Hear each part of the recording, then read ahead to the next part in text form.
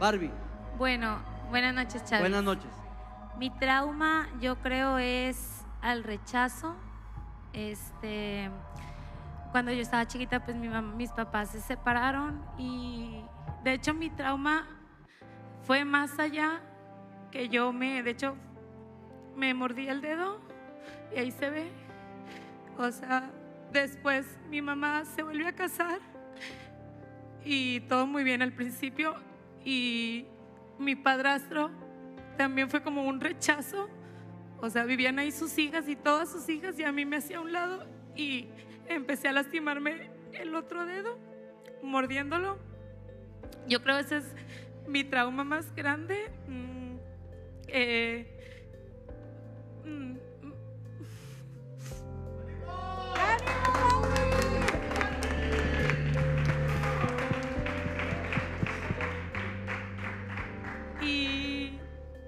no quiero que mi hijo pase por lo mismo porque pues su papá está totalmente ajeno, entonces pues yo trato, intento, gracias, de ser la mejor mamá. Yo sé que no soy perfecta, pero yo creo mi miedo más grande es que mi hijo sufra lo mismo que yo, sienta lo mismo que yo y llegue pues es mínimo, ¿verdad? Porque yo me mordía los dedos al grado de, pues yo me lo deformé, o sea, Vamos a hacer un acercamiento para que la gente vea el dedo.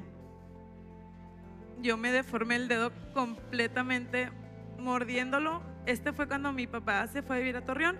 Yo a mi papá siempre lo vi, nunca tuve, o sea, no, no nos separamos, pero luego me vuelve a pasar lo mismo con mi padrastro y empieza otra vez la ansiedad. Y de hecho, cada que yo me, me siento ansiosa, empiezo a morderme el dedo. Y mi esposo siempre me dice, ¿qué tienes? ¿Por Pero qué te se muerde el usted, dedo?" no la uña, el dedo. El dedo, Chavis. Pero o sea, morder el dedo. No, no as- así no, me lo muerdo así. O sea, me de lado y me empiezo a quitar como que el pellejo y, he llegado al grado de sangrarme. es o que eso es doloroso, o sea, te estás, Sí, te estás arrancando la piel. sí, pero es una ansiedad que yo no he podido hasta la fecha, no he podido superar porque todavía lo sigo haciendo. O sea, yo me siento ansiosa y me muerdo los, los dedos. O sea, y no, y no, o sea, ya no puedo dejar de hacerlo cuando me siento ansiosa. Y pues mi miedo es que mi hijo sufra lo mismo.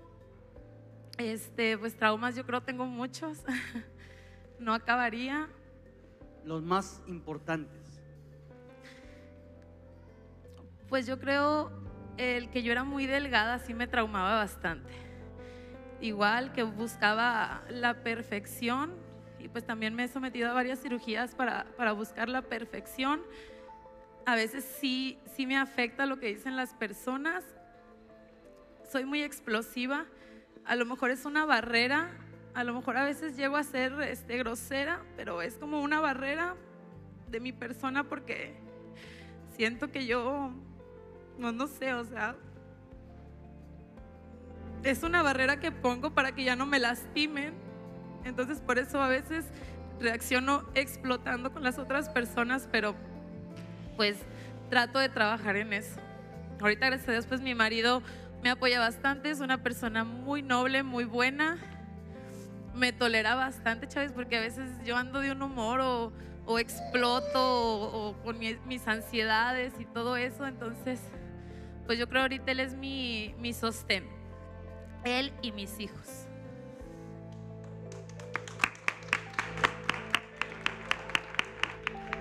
Lendy,